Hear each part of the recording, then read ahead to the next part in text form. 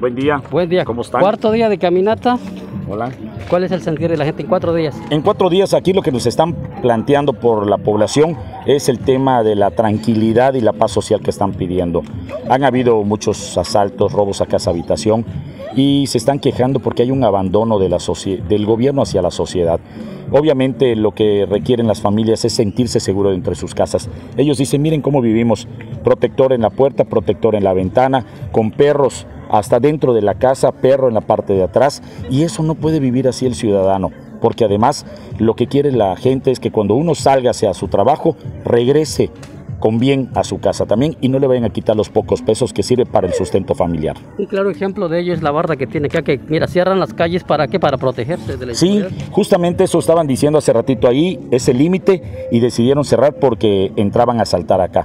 Entonces, obviamente pusieron a sus perros en las puertas para que sean los cuidadores. En vez de que el gobierno los cuide, los perros se están cuidando. Hay que pagarle a los perros prácticamente, a las mascotas. ¿Quién no conoce la clínica Sobrino? Seguramente usted es un cancunense de corazón y de años acá, ¿qué opina sobre el cierre de negocios por el derecho de piso que están cobrando? Sí, es una pena porque además en algún momento mi familia llegó a ir con el doctor Sobrino. ¿Quién no conoce al doctor Sobrino?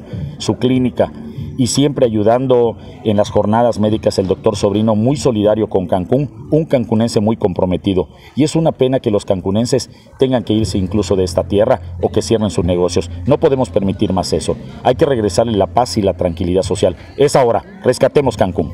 Y sobre, y sobre las casas y fraccionamiento, fraccionamiento están siendo despojados desde el interior del ayuntamiento con falsas eh, contratos y que no pagan y, están siendo arrebatados. ¿Qué opinión le mereces? Pues allá no debe de, haber impunidad.